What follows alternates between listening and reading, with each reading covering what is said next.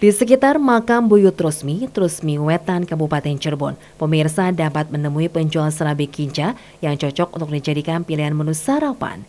Dengan merogoh kocek 2.500, pemirsa akan mendapatkan satu serabi pandan dengan kinca sebagai pelengkapnya. Tidak main-main, ukuran serabi yang pemirsa dapat lebih besar daripada yang bisa ditemui di tempat penjualan jajanan pasar tradisional biasanya.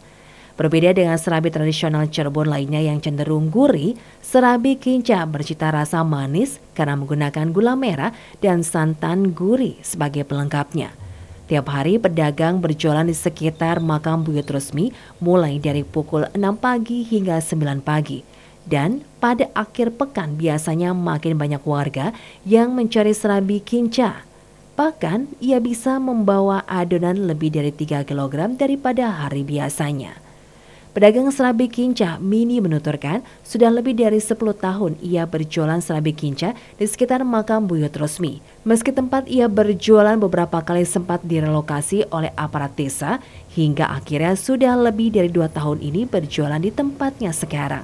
Saat pertama kali berjualan, sempat ia jual dengan harga 1000 hingga kini 2500, menyesuaikan dengan harga bahan serabi yang naik. Lama, udah 10 tahun. Cuma 10 tahunan. agak sempat pindah-pindah gitu. Iya. Ke depan, ke belakang, gitu aja. Depan, ke belakang. Yang sekarang berarti masuk ini ya, masuk eh, tempat ini ya. Iya, Ini bedanya kayak eh, serabi yang serabi beras. Nah, serabi. Kalau itu beras, kalau ini terigu. Terigu, pakai telur. Diaduk. Tapi berarti nggak nggak pakai eh, tepung beras gitu kan? Enggak, cuma terigu aja, sama telur. Nggak pakai pengembang. Kayaknya be- beda juga ya dari yang kayak dijual di pasar tuh kan dijual di pasar jadinya kecil-kecil. Oh iya, capek ininya. Nyetaknya capek. Oh iya, capek.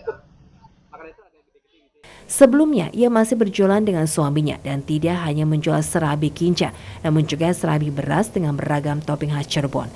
Dan berjualan di pagi dan sore hari. Namun selepas meninggal suami karena sakit tujuh tahun lalu, ia meneruskan sendiri usahanya sebagai tulang punggung keluarga hingga dapat menyekolahkan anak sulungnya hingga ke jenjang perguruan tinggi.